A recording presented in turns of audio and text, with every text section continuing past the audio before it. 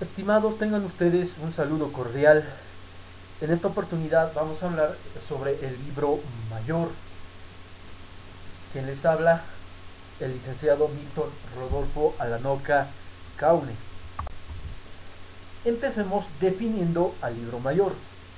El libro mayor es considerado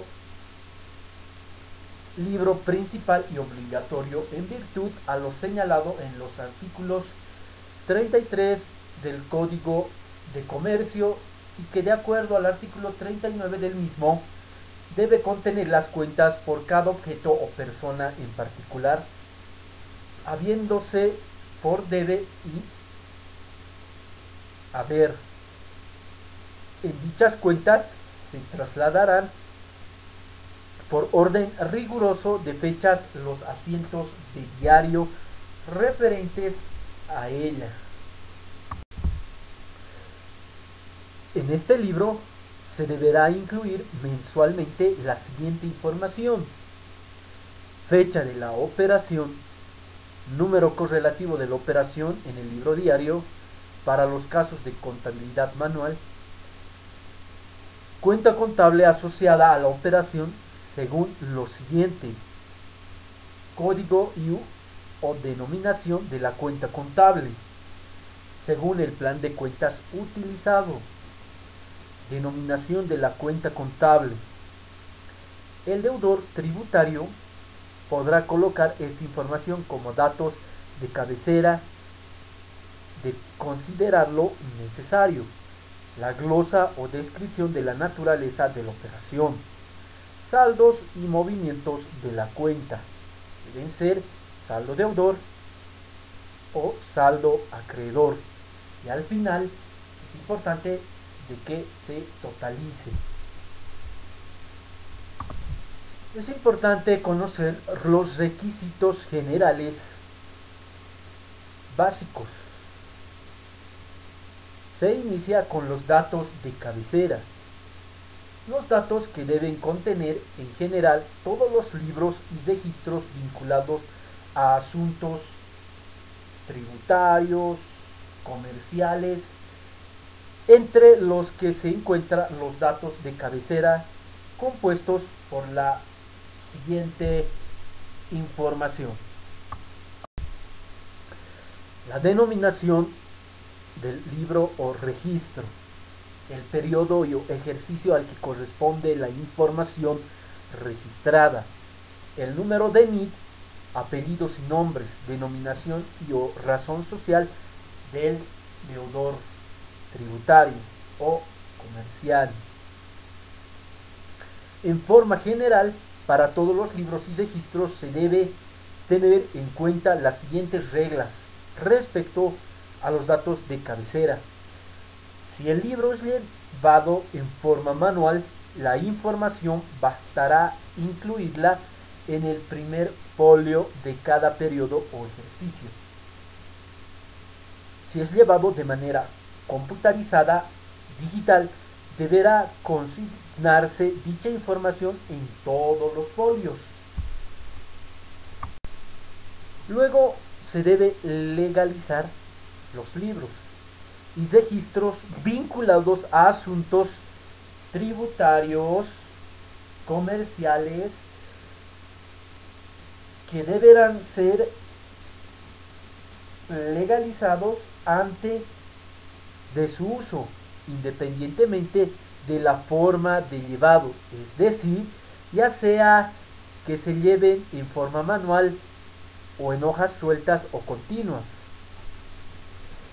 En el punto 2 del artículo 2 de la resolución señala que los notarios y o jueces colocarán una constancia en la primera hoja de los libros y registros con una información mínima detallada en el numeral antes señalado. Además, el notario de fe sellará las hojas previamente foliadas antes de su uso. Existen requisitos específicos. La información mínima que deberá incluir mensualmente en los libros mayor es tal más o menos como se detalla a continuación. contenido mensual en el diario general y en su detalle. Inciso A, fecha de la operación. Inciso B, número correlativo de la operación en el diario.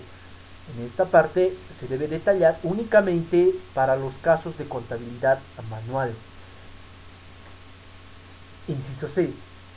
Cuenta contable asociada a la operación. En el detalle según lo siguiente. El código o numeración denominación de la cuenta contable según el plan de cuentas utilizado. Además, la denominación de la cuenta contable se podrá colocar esta información como datos de cabecera de considerarlo necesario. Inciso D. Se debe describir una glosa o descripción de la naturaleza de la operación registrada. Inciso F. Saldos y movimientos de la cuenta. En el debe todo lo que es saldo deudor y en el haber todo lo que se considera saldo acreedor y al final se debe totalizarlos. Hablemos de un modelo de formato. Respecto al uso del formato del libro mayor establecido en la resolución, debe tomarse en cuenta que el uso estricto del formato resultará obligatorio cuando la contabilidad sea manual o digital. En consecuencia, cuando el sistema contable sea computarizado, si bien es obligatorio consignar la información mínima, no necesariamente se deberá utilizar un formato establecido. En estos ejemplos podemos ver que en la parte superior se tiene el formato manual o llevado también en Excel donde debe contener en la parte superior de la cabecera el nombre, el NID, el, número de cuenta, el nombre de la cuenta y en la parte del cuerpo debe estar detallado la fecha, la descripción y los saldos en el debe y el haber. Cuando existe el registro computarizado, el libro mayor de forma automática responderá según el formato del sistema contable utilizado. Y por ejemplo lo vemos en, este, en la parte inferior en el segundo ejemplo, donde contiene la fecha, el tipo de cuenta, la cuenta, el importe y el saldo.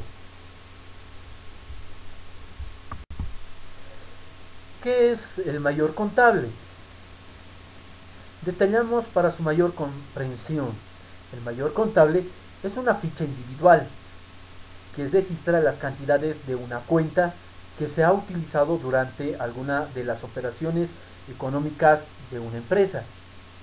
Además, es el libro que recoge los hechos que están en el libro diario, pero sin fecha de realización de la operación en la cuenta no la cuenta que ha sido operada o con la que hemos trabajado. Para conocer los aumentos y disminuciones que ha experimentado dicha cuenta. Este libro no es de carácter obligatorio para la empresa, aunque es muy útil al recoger una de en todas las cuentas que se han utilizado y los movimientos de las mismas durante el periodo contable.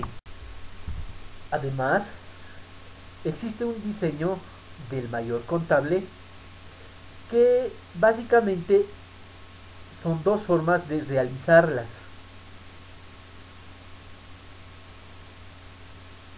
Vamos a explicar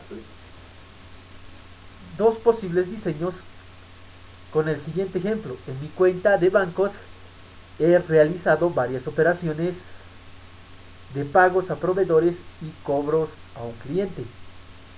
En forma de T, tiene esta forma que las entradas y salidas de la cuenta irán a la parte izquierda o a la parte derecha, dependiendo si el movimiento va al debe izquierda o al haber derecha. Aquí se ve un ejemplo donde básicamente un mayor puede ser utilizado en forma de T. Por un lado se ve al debe y por el otro al haber. En el debe todo lo que ha ingresado se debe registrar y en el haber se debe registrar todo lo que ha salido. En este caso de la cuenta bancos. Ha ingresado en este ejemplo 5000 y está saliendo 2000. Se hacen las sumas correspondientes. 5000 en el debe y 2000 en el haber. Y posteriormente se hace la diferencia correspondiente. El saldo será deudor porque el debe es mayor al haber. Y puede existir en algunas cuentas viceversa, donde el haber es mayor que el debe. Su saldo será acreedor. Los saldos del mayor contable.